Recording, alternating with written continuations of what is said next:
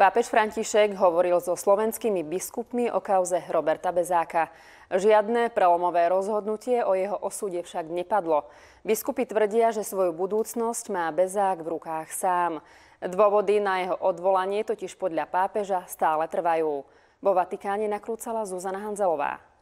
Zamotaná kauza Roberta Bezáka nemá ani podnešku rozuzlenie. Aj keď jeho meno bolo horúcou témou na stretnutí slovenských biskupov a pápeža Františka, na jeho pozícii v katolíckej cirkvi sa zrejme tak skoro nič nezmení. Svetý otec František eh, je pripravený mu pomôcť. Čo to presne znamená? Čo, čo to myslí?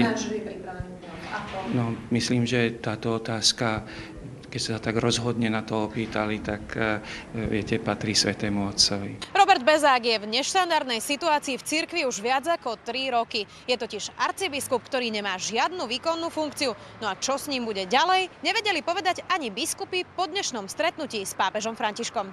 No, ťažko povedať, že čo bude, lebo tak sa ukázalo aj z toho rozhovoru, že prakticky všetko záleží od pána Cipsko Bezáka. Pápež František na stretnutí otvoril aj svoju srdcovú tému, ktorou sú utečenci. Vyzerá to ale tak, že žiadne prekvapivé stanovisko v utečeneckej kríze od katolíckej cirkvi na Slovensku nepríde. Katolícka církev žije e, v nejakom, v každom štáte, kde musí pre dobro, pre spoločné dobro celej spoločnosti e, prirodzene rešpektovať aj rozhodnutie legitimne zvolených predstaviteľov štátu. Pápež František kládol slovenským biskupom na srdce kresťanský prístup k utečencom.